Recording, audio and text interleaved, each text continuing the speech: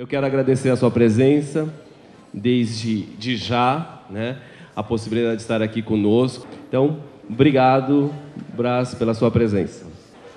Desde os 16 anos eu tenho uma relação com teatro, essa relação se torna profissional a partir da universidade. Eu acho que eu sou da, de uma das primeiras gerações que é, é, são as gerações dos diretores deformados universitariamente, ou seja, cuja obrigação de passar pelo curso universitário era fundamental para que a gente pudesse ganhar o registro e poder exercer a função de diretor.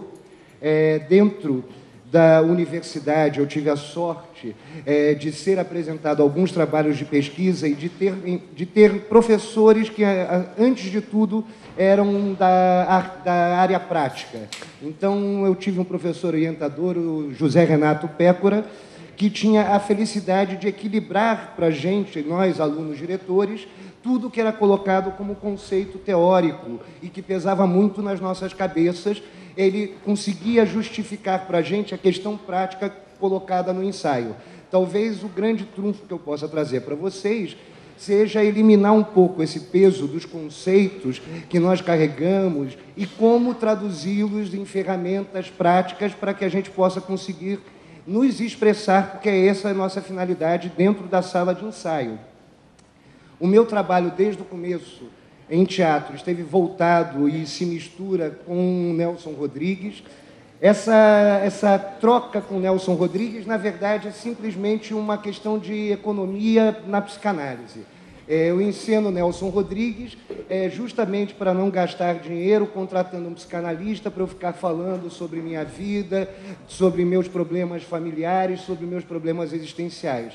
A obra do Nelson por si como se fosse, inclusive, um processo psicodramático, ela acaba exercendo, para mim e para as pessoas que trabalham comigo, uma função de revelação descoberta. É essa função de descoberta que nós tentamos manter vivo nas nossas encenações. De fato, o Nelson Rodrigues não era um intelectual, ele era uma pessoa de ação, um escritor acima de tudo, é, era considerado pelos seus contemporâneos de jornalismo é, a maior página jornalística, porque ele escrevia em espaço 1 e jamais corrigia.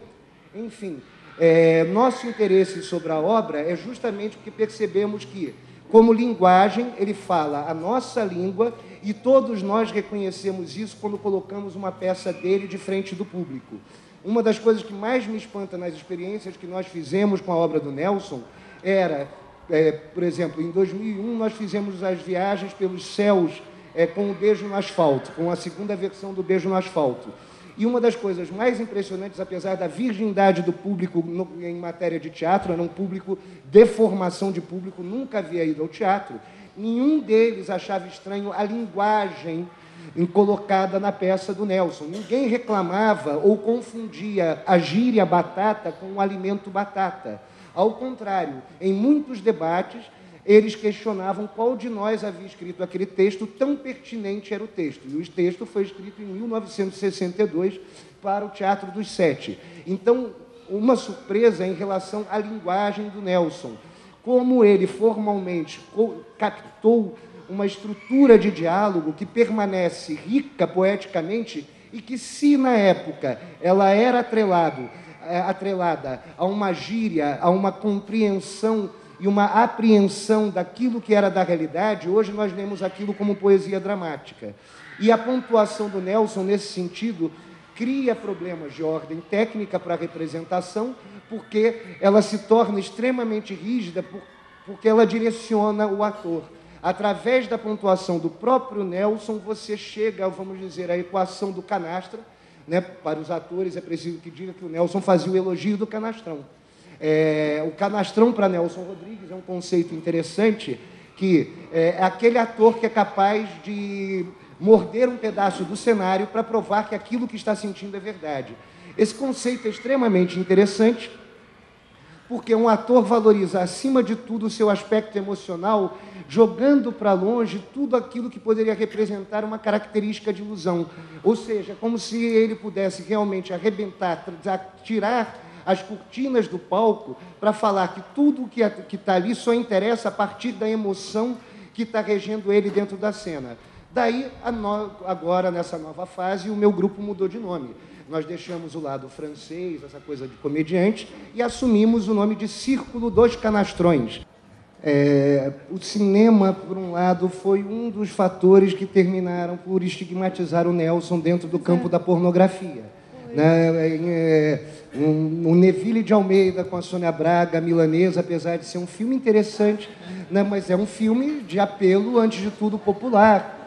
É, o cinema ainda deve a grande obra ao Nelson. Nós temos realmente a falecida do Risman, que tem grandes momentos é, nós temos o Jabor, principalmente no Toda Nudez.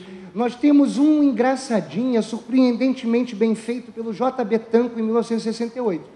Mas a grande maioria é uma, é uma atrocidade, no sentido de levar o espectador, mas isso acontece muito. Muita gente vai ver as encenações do Nelson e o encenador tem toda a liberdade do mundo, pô, ninguém vai cercear o encenador. Só que as pessoas não têm essa cultura e confundem as opções do encenador com as opções do autor.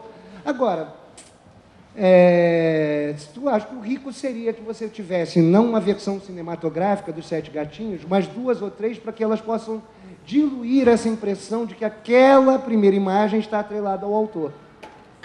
Acho que o cinema ainda fará a devida obra do Nelson. No caso da TV, tem coisas extremamente canhestras e coisas excelentes. Né? Assim, alguns, algumas das adaptações da vida como ela é, do Daniel Filho, conseguiram realmente acertar um tom de adaptação, uma equação entre conceder no sentido de, pô, é algo que vai ser passado no Fantástico no domingo, né, e conseguir atrair público e ao mesmo tempo não destruir o, original do Nelson. Mas são raras as coisas, né? Não tem muito comumente essas oportunidades na vida. É, de encontrar. Não só a gente se encontrar, como encontrar com gente provocativa, instigante. Então, o que eu queria sugerir é que, se tem alguém aqui que está preocupado em se manter dentro do tema, dentro de alguma questão, eu acho que a gente tem que soltar um pouquinho a franga né? E na conversa, meio botar para fora aquilo que surgir na gente, independente do tema.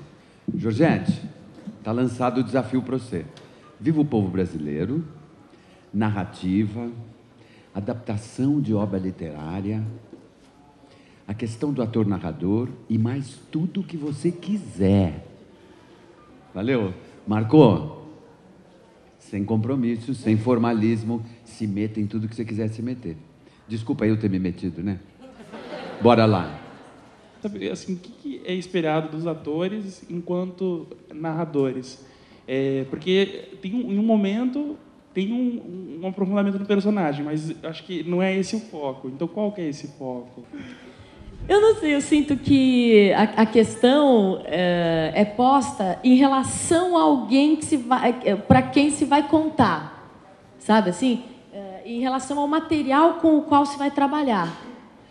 É, o que é esperado do ator é uma coisa muito grande, porque o que é esperado dele é que ele reaja com eh, interesa dos corpos e conexão dos corpos a cada instante, a cada, a cada momento.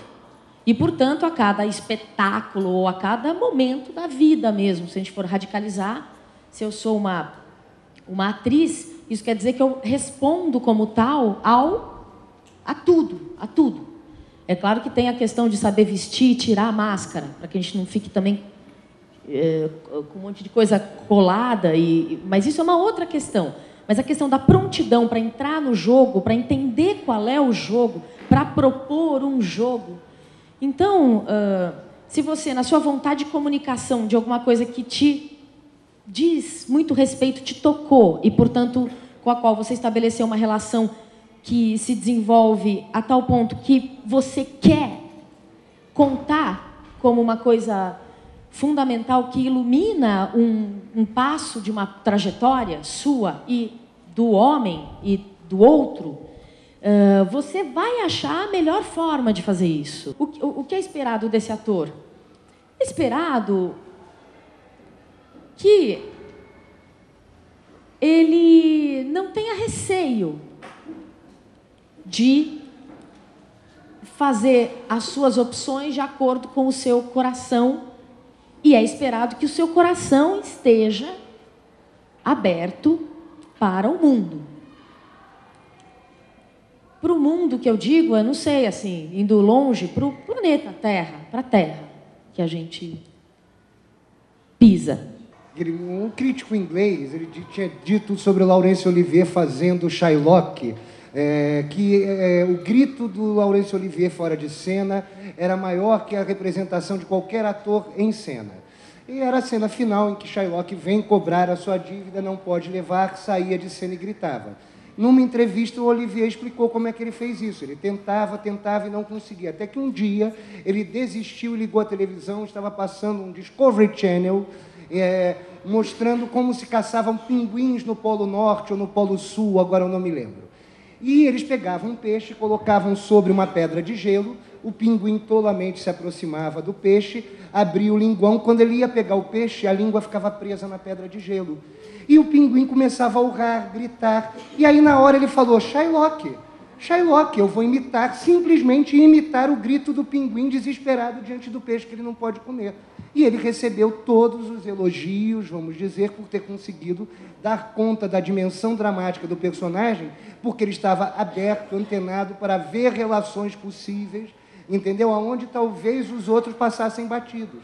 É, talvez a questão seja essa: a objetividade talvez nos atrapalhe, a objetividade seja de um outro campo.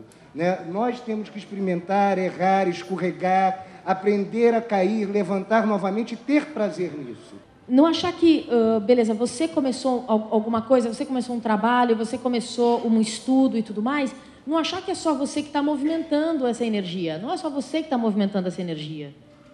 Isso está lançado, está posto.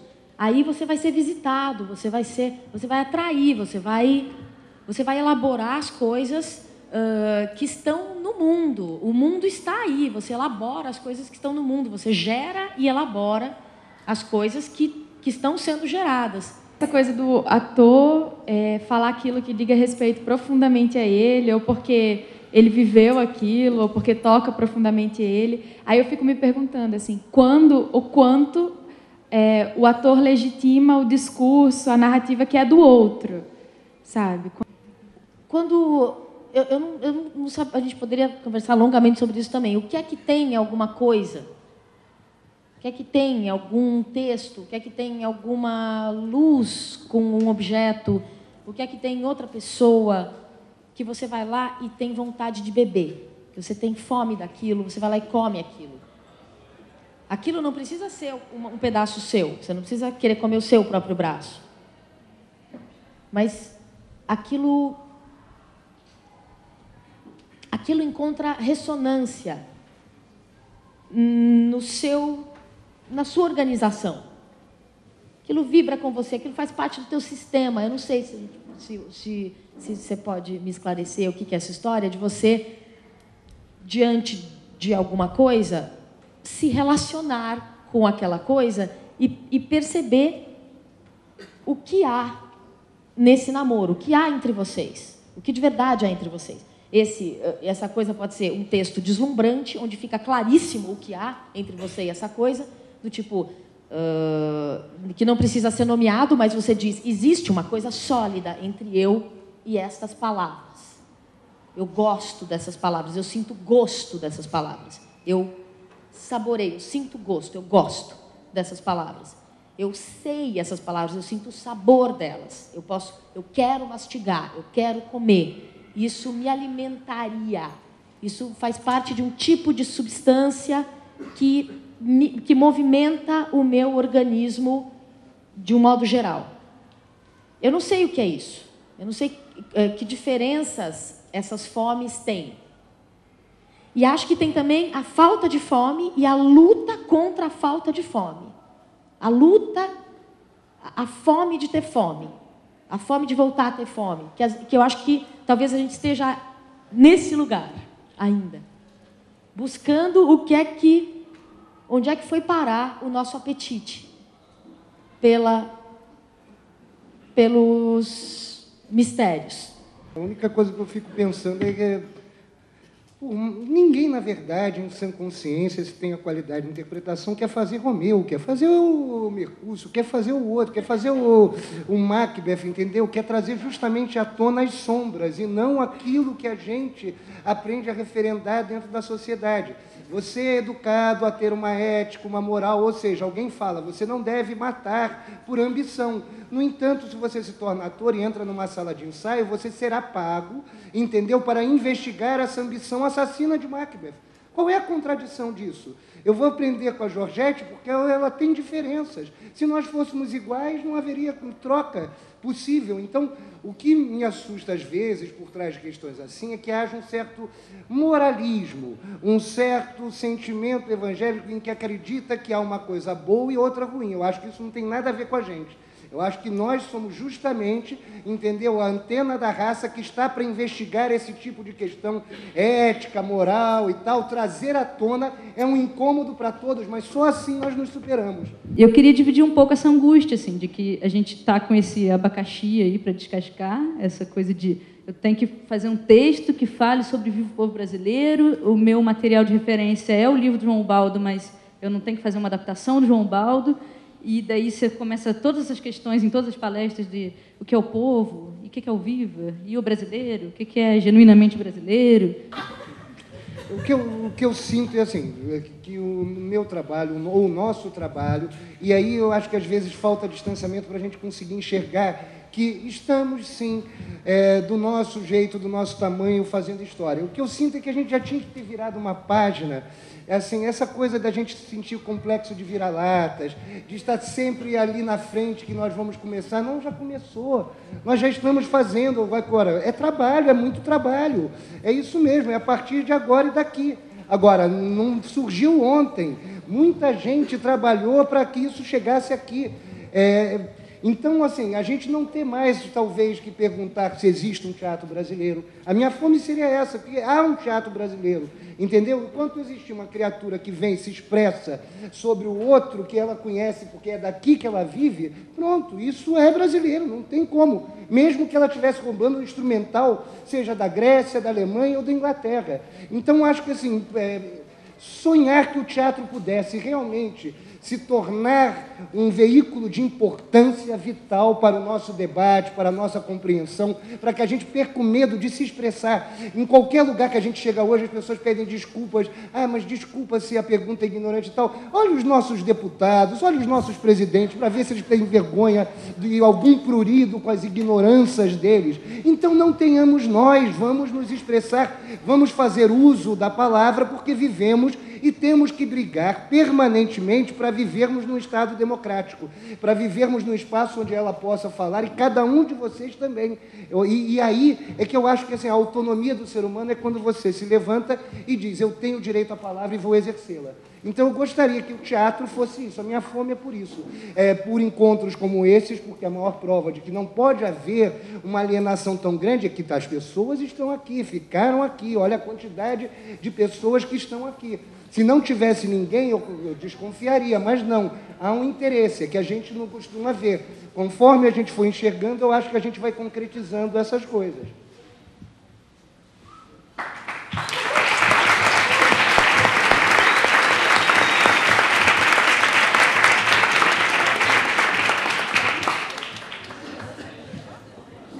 O Beijo no Asfalto, uma tragédia carioca de Nelson Rodrigues em três atos e treze quadros.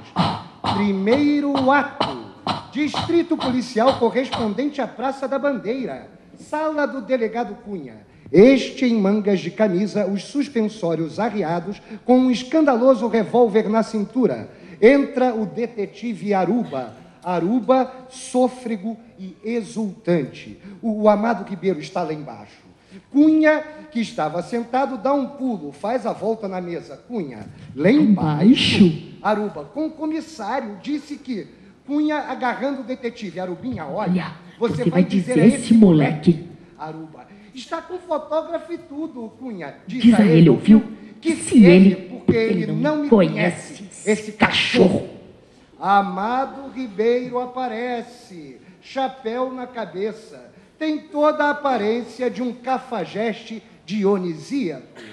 Ah, O famoso Cunha. Cunha quase babando de ódio e ainda assim deslumbrado com o descaro do outro.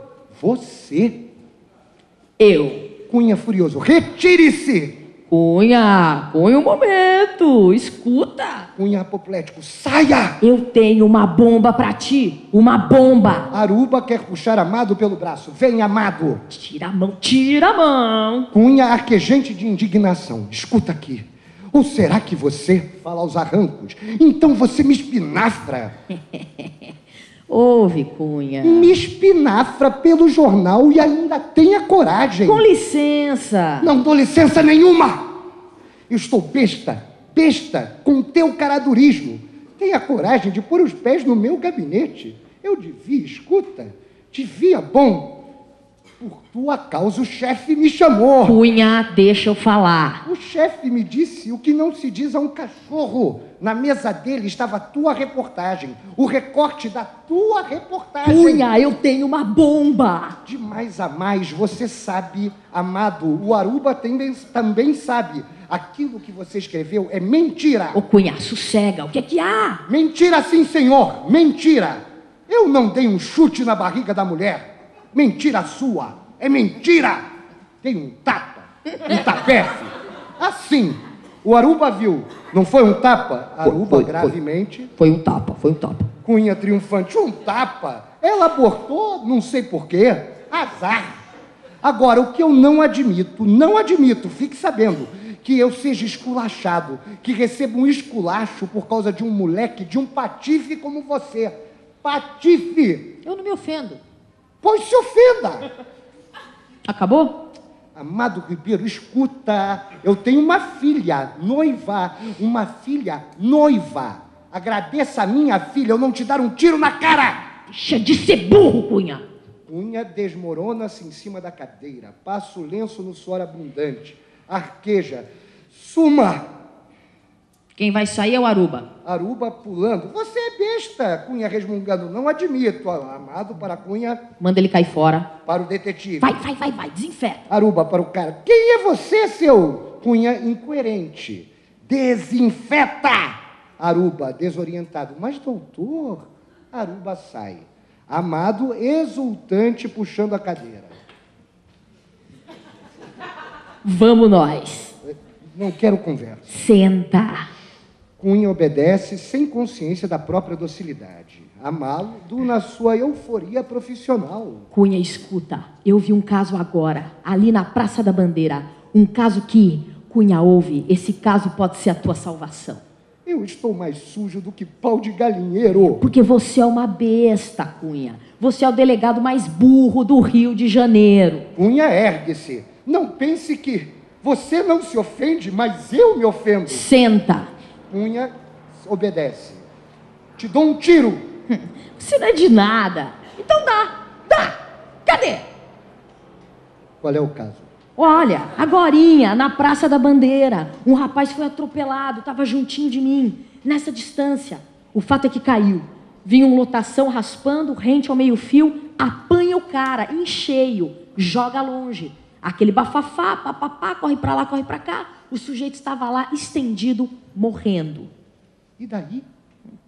De repente, um outro cara aparece. Um outro cara aparece, ajoelha-se no asfalto, ajoelha-se, apanha a cabeça do atropelado e dá-lhe um beijo na boca. que mais? É só. Quer dizer que um sujeito beija o outro na boca e não houve mais nada? Só isso? Só isso? Não entendo.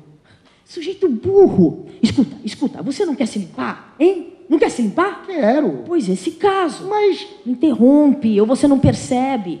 Escuta, rapaz, esse caso pode ser a tua reabilitação e olha, eu vou vender jornal pra burro. Mas como reabilitação? Manja, quando eu vi o rapaz dar o beijo, homem beijando homem, no asfalto, Praça da Bandeira, gente assim, me deu um troço, uma ideia genial. De repente, Cunha, vamos sacudir essa cidade. Eu e você, nós dois. Cunha, Nós dois?